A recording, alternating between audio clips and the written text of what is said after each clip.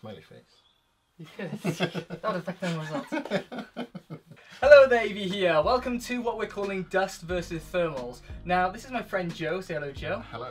Uh, this is his computer. Um, you may have seen Linus Tech Tips did a video on a one-year Dust um, sort of build-up test where they had three systems running with different configurations. Uh, the one thing that I felt when looking at that video is that there was no thermal test to see which one of them performed uh, better or worse, had higher temperatures or not. So we've got Joe's system. Joe's system has now not been cleaned for how long, do say?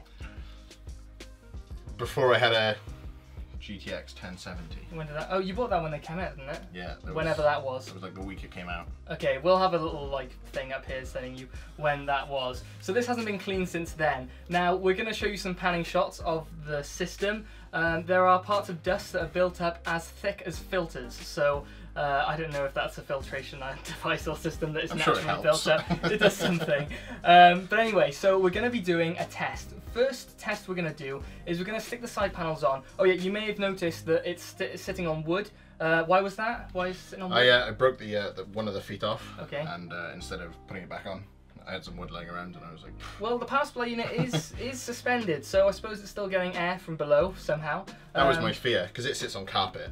I didn't want the power supply to be drawing from carpet. Yeah, you wouldn't So I want it to get hot and set on fire, per I'll stick a block of wood Yeah. instead. Yeah, all the dust isn't a problem, but all that is. I actually like to see inside that as well to see what's what, but I don't think we're going to be opening that up. Uh, so yeah, my particular favourites of the dust build-ups are the front fan, uh, the top fan, very funny, uh, and the Cooler Master Hyper 212 Evo, which actually we'll do a comparison shot between my Cooler Master Hyper 212 Evo and what this one looks like, and it is uh, it's quite a sight. Anyway, first test we're going to do is we're going to stick all the side panels on, which Joe hasn't put on, and there's also dust building up on those from just they've been sitting on the side building dust. Uh, we're going to put the side panels back on, everything's going to be enclosed, and we're going to run it through the normal test that we do for the Micro ATX test on this channel, which will be Prime 95 small FFTS test, and will be the uh, Kombustor test uh, from MSI. So, um, what we'll put the specs here of the system. Um, any idea of what you're running at the moment? What's the Uh, i7 4770K, Okay. 16 gig of, I want to say Corsair Vengeance. it's something? I saw I saw Dominator in there. Uh, maybe. Uh, you know Vengeance? No, you're right. Uh, Yeah, I Vengeance. thought so. Uh, GTX 1070 MSI one. Yeah. Um, and then a Corsair RM850. Okay, and the cases. Cooler Master something. I'm sure there was a label on it somewhere, Oh, gee. but I don't know. Anymore. Yeah, it's we quite an old case. Yeah, we established it's not a HAF X because I had to borrow one of those for um, a short period of time before. Anyway, before we go on way too much, we're going to stick the side panels on, do the first test, and we'll see what it's like. Uh, also, admire Joe's uh, particular style of storing uh, two and a half inch drives, which is. Are they two and a half inches at the back? They're just. They're all two and a half inch. They've all come out of uh, laptops at some stage. Okay. I need 70 gig. I'll just check that in. And do any of them have screws? The three and a half inch one is hasn't got screws. I don't think it's just in the quick drive. Slot. yeah, yeah, yeah. But then otherwise, no. No None of them screws. screws. No screws. So before anybody whinges, this has been sitting here for probably at least three years. Yeah, easily. doing this uh, this in this configuration, and he drove it over here in his car, and you have done many trips in there before, Yeah. like that. So please, nobody whinge about not having screws in hard drives. Really, it doesn't matter that much, but ideally, yes, you should have some, at least one or two. Nah, it's all fine. Okay, so let's do the first test. We're gonna do it as Joe would have it on the blocks and the side panels on. So yeah, catch you in a second for those. Just before we head into the thermal testing, there's a few extras that haven't been covered yet. The graphics card has been hit with the odd cobweb here and there, but this is uh, this is far from the worst of them. And on top is a lovely fine layer of dust attempting to disguise the black backplate of the card. The rear fan, which is acting as an intake, isn't optimal, but then again, neither are the peaks of dust built up on the edges of the blades. Believe it or not, the top of the case is actually an exhaust, and you'd be mistaken for thinking it was filtered, but this wouldn't make sense since it's an exhaust. Either way, there's no filter here, it's all dust bridging the hexagonal holes. There's a fine layer of dust on everything in this case, even the power cables to the motherboard and graphics card haven't been left unscathed. As for the side panel, there's dust all over this too, and all sorts of dirt in the crevice at the bottom. Moving on to the other side panel, have you ever seen one of those archaeological programs where they dig up some sort of Roman barracks and date it back based on the compound of the pot? Well, here at AV Techy we don't have the technology to do such a thing, but we have got a Snickers wrapper that was trapped in the side panel that dates back to the 8th of the 5th, 2016.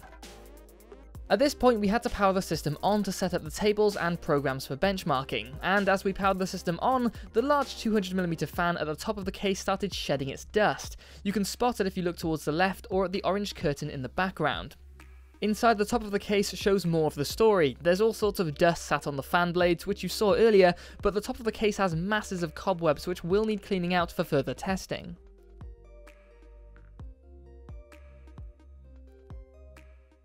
Okay, so first test we're doing just all dust, side panels off. This is Joe's sort of everyday configuration for, I don't know, cooling. So yeah, all panels are off or all side panels are off and then it's just all the dust as standard. So we're going to track this. At the end we're going to compare all the results. You might actually be able to see bits of um, dust flying around places. So anyway, hope you enjoy the results and catch you in a second. See you in a bit.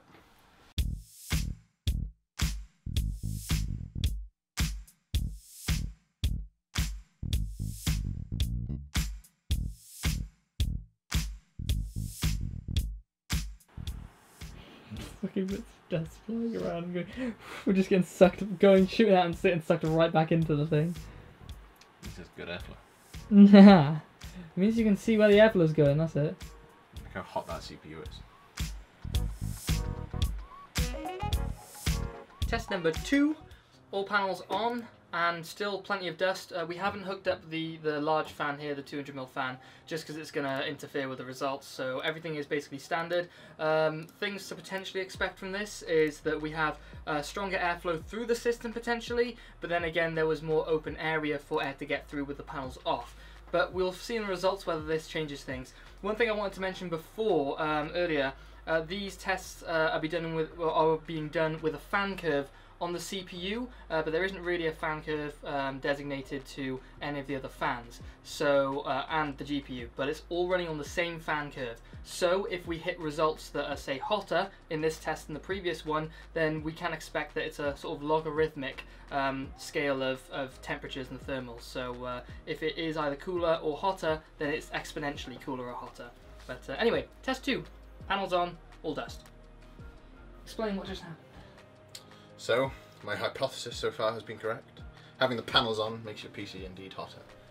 Therefore, run your PC without any panels. Yeah, absolutely. Um, so what we found out, I'm just sitting by the camera by the way, uh, what we found out then is that the uh, thermal throttling happened earlier on core 2 uh, this time round with this second test with the panels on than it did with uh, the panels off. So having some sort of linear airflow going through the case doesn't actually seem to uh, hold much water at the moment. So yeah, um, Joe's theory is that and I'm kind of inclined to agree with him, is that we're not really going to see much difference in temperatures. That's cool one. That's cool Like one. 4 minutes 54 seconds. 154, then that is sooner. So, so yeah. So basically, the general theory we think is that uh, with all the dust removed, maybe I'm thinking something in the region of five to ten degrees. Maybe that's going to be a It's optimistic, that is. Joe's thinking more like two, which two Yeah. would be within the region of um, error. Anyway, that's just our thoughts. So interesting. We're looking at a hot result, but we'll see what it's like at the end. So with all the testing out of the way, we're going to use our Dyson DC35 to clean the system. Uh, Joe is going to make sure that he's wearing his anti-static wrist strap from Courtesy of iFixit. from iFixit, absolutely, uh, and we'll just tidy it up. Um, take it away, Joe. Make sure your anti-static strap is uh, connected to your trousers. and unscrew the thumb screw. Your PC is perfectly fine to be on at this point.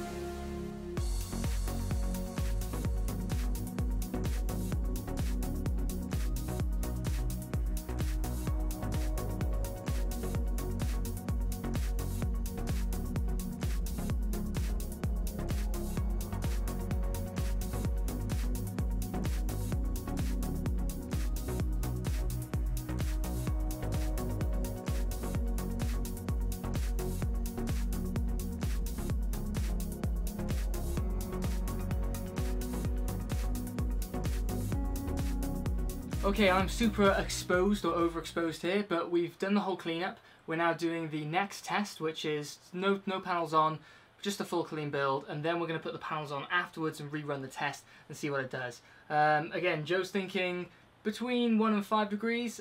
I'm saying 1 to 10 degrees. That's kind of based on uh, on the open air test bench with the Hyper 212 Evo on the 6700K. Uh, we actually got to under 70 degrees. Whether, uh, as with this rig, with all the dust in there, with the same cooler and a 90 or 84 watt CPU, I think it is, um, it was completely thermal throttling and was causing problems. So it'll be interesting to see what it turns out like. But again, we'll see with the results at the end.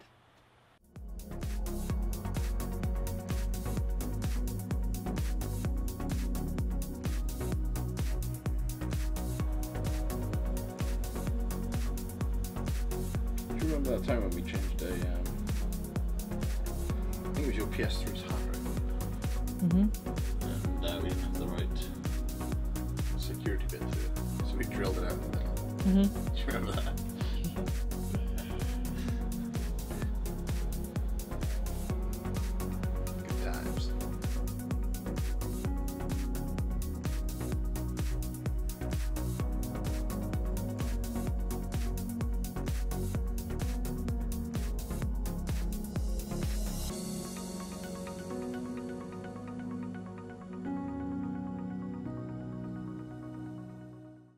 You'd have got battle thermals if you did this. I know, I know. Those people. Yeah, that's not the end of this test, thanks. Yeah, I know. It's f***ing- honestly, it kills me.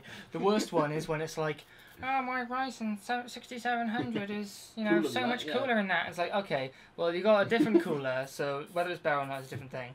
Uh, and it's a freaking 65 watt processor. oh, but I've overclocked mine. I don't give a like it, you're starting at 65, right? You put your start is there, and it's like, oh, it goes up to 120, and it's like, yeah, well, this one's going to 125. You know, base start has more power, and you know, Yeah. hasn't got the same cooling system as you. It makes a difference anyway.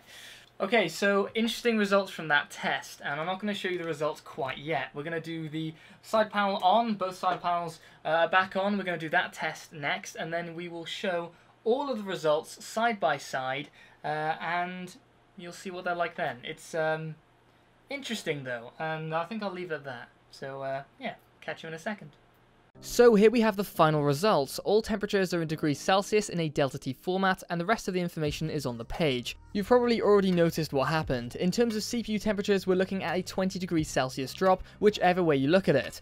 Clearly that clogged up Hyper 212 Evo was really struggling for air, and no surprise considering how much dust was built up between the fins. In terms of GPU temperature improvements, there wasn't a huge improvement in thermals, but since the GPU fins were oriented vertically and the fans were blowing upwards, there was far less dust gathered in the fin stack, which of course leads through to a lower temperature difference. A question someone might ask is, why did we bother to test with and without the side panels? Well, I was interested in finding out whether having a system full of dust could be compensated for by completely removing the side panels. And it turns out that in at least this case, there was a 9% drop in thermals from the GPU with a case full of dust, and a 4% drop in thermals in the case void of dust. For the GPU, removing the side panels might buy you some more time between cleaning a system, but for the CPU, there's clearly no amount of side panel compensation that's going to combat 3 years of dust buildup. As for the clock speed, we tracked the CPU clock speed, which struggled the most in this testing with thermals, but it would have been nice to track the GPU clock speed too. With both full dust test systems, the CPU hit 100 degrees Celsius, but the no panel variant managed to postpone this by over a minute. But I think any more discussion into these graphs is pointless. The take home from this is you should keep on top of the dust in your system if you're interested in maintaining decent thermals, which can have an impact on performance and longevity of the system components.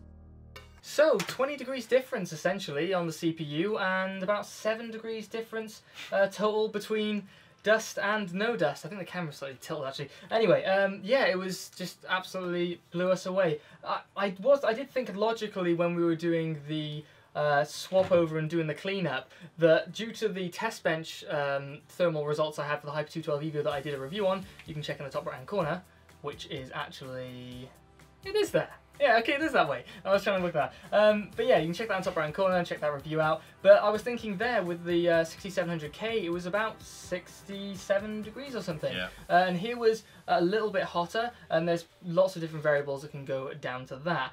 But yeah, absolutely fantastic results. So if you've got an extremely dusty system and you're thinking, oh, what can it really do? I think the only result is is clean it out. Uh, one thing I do want to mention actually is this. Is this? Uh, this is a blower that I bought uh, from uh, from a company in the UK, but it's essentially just um, some motor with a sort of impeller or whatever, a propeller essentially, um, and just blows like hell. It's like something like a 50 watt motor in there. Um, that did the majority of the work. The handheld uh, vacuum cleaner there, and even the uh, the standstill one or the the one that you plug into the wall was sort of eh, okay. not great. Yeah, it did a good job of containing the dust, but I mean this, you know, you saw a bit of uh, footage in there. That was really the beans, and that really, if you're going to be doing a lot of computer stuff, that prevents you buying compressed air. You'll probably go through maybe uh, nine to twelve bottles of compressed air for the cost of one of those. So that is potentially an investment for you if you want to look into that sort of thing. So thank you very much for watching the video. I found it very educational. I thought it was really impressive. Uh, we were thinking between one and ten degrees.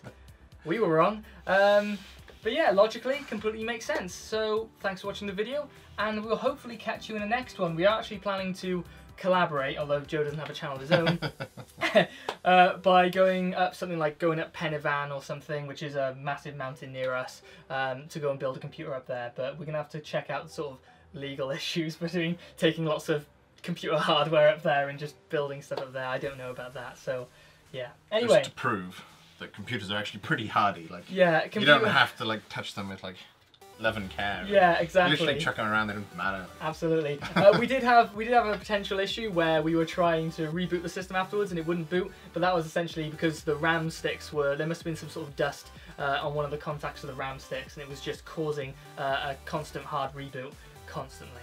But um, but yeah, computers are not. You don't have to touch them with kid gloves. They're actually pretty solid. And you can tell that by pretty much anybody on the computer channel just handling it like as if you were handling this. They throw them around all the time. Anyway, before we go on too long, thanks for checking out the video. Thank you so much for um, giving us your computer and your, your dirty computer for this uh, for this uh, video, Joe. And we will catch you in a video, probably not very soon, but in another one. Laters. Bye bye. Awesome.